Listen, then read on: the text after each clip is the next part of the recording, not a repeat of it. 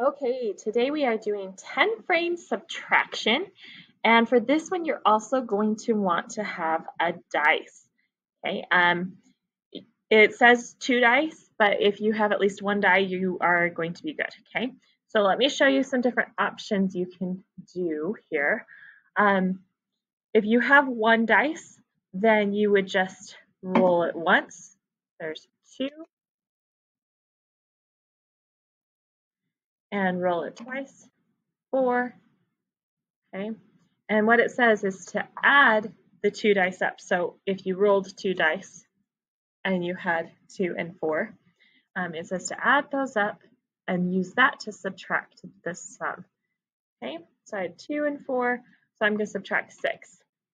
Now, if you don't have any dice at your house, another way you could do this is take a scratch piece of paper and I'm just going to break it into six pieces.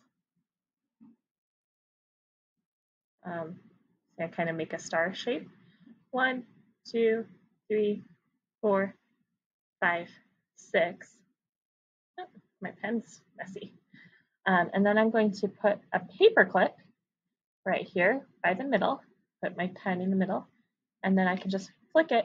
I got a four, Look it, I got a six. So I would use four and six, okay? So those are the different ways you can use your numbers.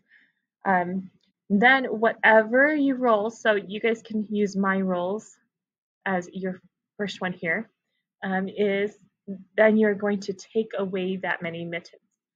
Okay, so I'm going to take away six. Now I know if I take away the first row, that's five, one more six. What do I have left?